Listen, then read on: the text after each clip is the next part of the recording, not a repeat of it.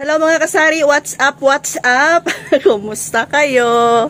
Ayan, so update tayo ngayon. Naku, mga sisi ko, ang bigas sobrang taas na ngayon.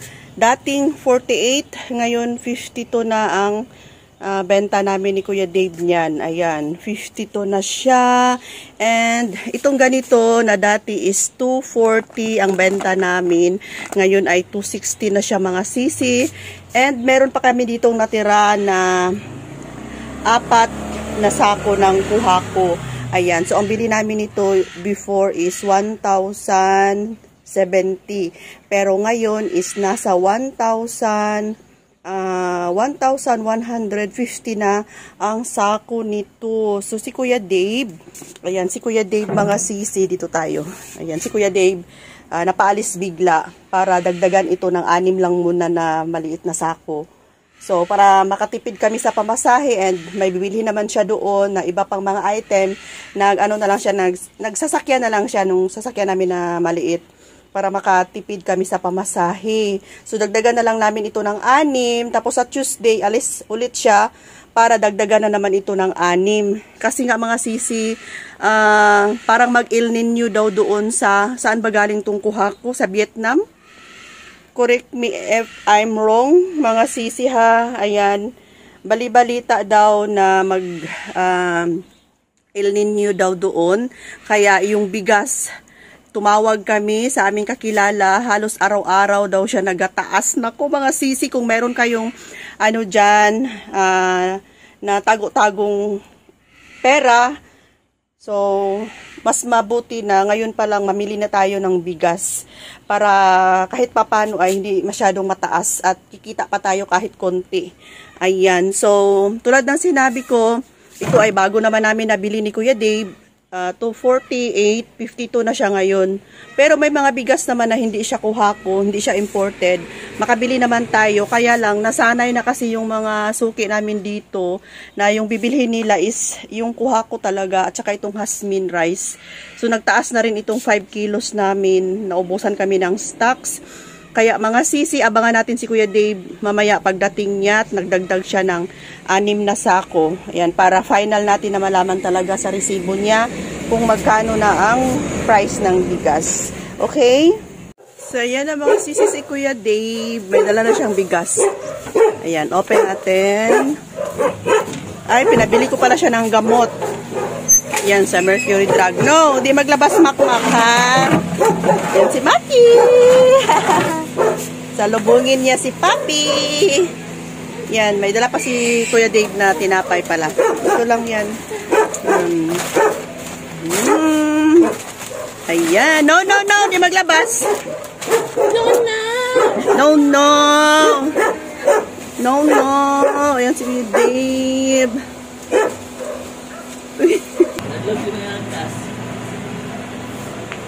Okay, dito na tayo sa loob mga sisi. Salita ako ng salita pala kanina. Hindi pala naka-on yung video ko. Hindi ko nakunan si Kuya Dave nang nagbubuhat siya ng bigas papasok. Ayan, ano ba naman to? Buhay vlogger. Salita ng salita tayo. Hindi pala natin na play yung cam. Nakakainis mga sisi. Kinunan ko pa naman si Kuya Dave nagbubuhat nito papasok. Ayan. Okay, so to be continue tayo.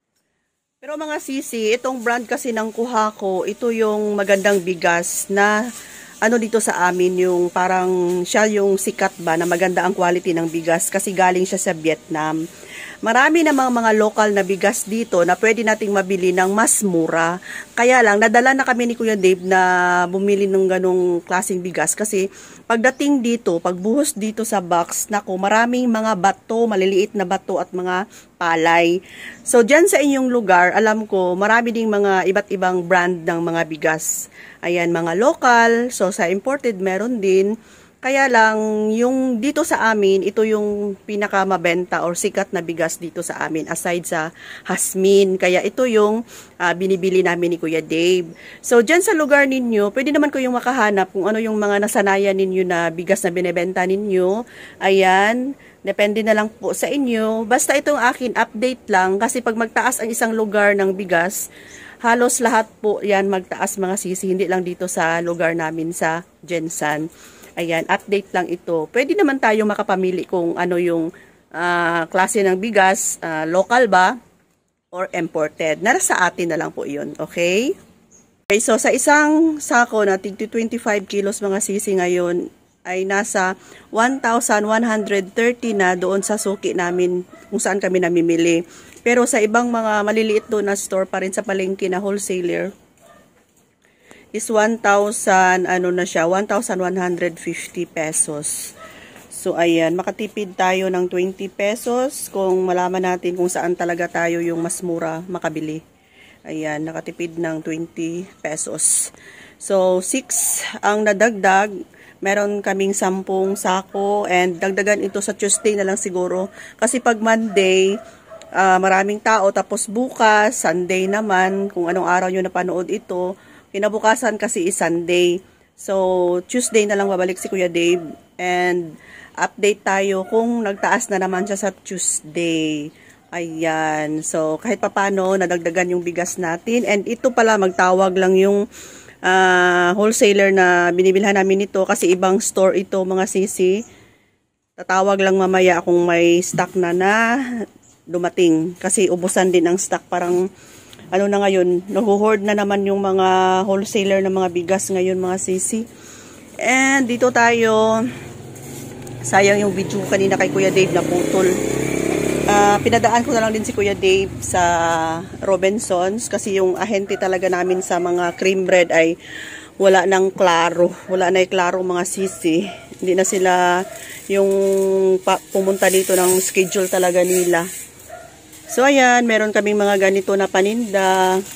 Fish cracker, 6 pesos. Tapos mga ganito, 7 pesos ito mga ganito. Ayan, kunting flex lang. Ayan. Okay. Yan yung aking mga gamis. Ang nire-repack mga gamis, nakikita ko sa ibang mga nagre-repack ay gumagawa sila ng tigsa 10 piso ng mga gamis. Pero ako mga sisi, para afford lang din sa mga kabataan, tig pa 5 pesos lang yung uh, nire-repack ko. Kung 10 ang bilhin nila, 10 pisos, 10 piso, 10 piso, dalawa yung ano, bigay natin. Alam nyo ba itong ganito oh, napaka mabenta ba? Tapos ang repack ko nito is, ayan oh, kalahati lang sa gitna. Ayan, paulit-ulit tayo, di ba? Tapos sa isang box na nabili ko, ito na lang yung natira. Ito na lang yung Ah, kasi pag may bibili ng isa, 2 pesos each, ito na lang. So, uh, plan ko mag-order nito ng mga limang ganito siguro sa susunod. Kasi mas mas ganito yung pinipili nila mga sisi. Yung gusto nila to. Ito na lang din, oh. ito na lang yung natira. Yan, 'di ba maganda na siya tingnan. Tapos yung ating mga pambata ay unti-unti na rin nauubos. Ito dito dati puno siya, ngayon unti na lang. Tapos ito dito, ayan, kunti na lang. O, diba? Sa sunod na mga araw, uh, punta tayo ng palengke. Mamimili ulit ako ng mga ano, para ilagay ko dito, dagdagan ko ito dito. Ay, ialisin ko na lang tong tray. Magdagdag tayo ng mga item para maganda tingnan ang ating tindahan. Okay mga sisi, ito lang muna yung update natin for today. So, uh, check natin palagi, always, palagi, always pa ang ating mga resibo ha. Kasi hanggang ngayon ay hindi pa rin tumitigil sa pagtaas ang mga bilihin. Kailangan check talaga natin. Ayan yung Argentina. Forward kunti. Nag-order na rin ako nito kasi ito yung pinakamabenta na corn beef. Ayan. Ayan. Thank you so much mga sisi ko. Kami ay may kasabihan na kapag may tinanim, may aanihin. Kapag may sinuksok, may madudukot. Bye for now. Love you all.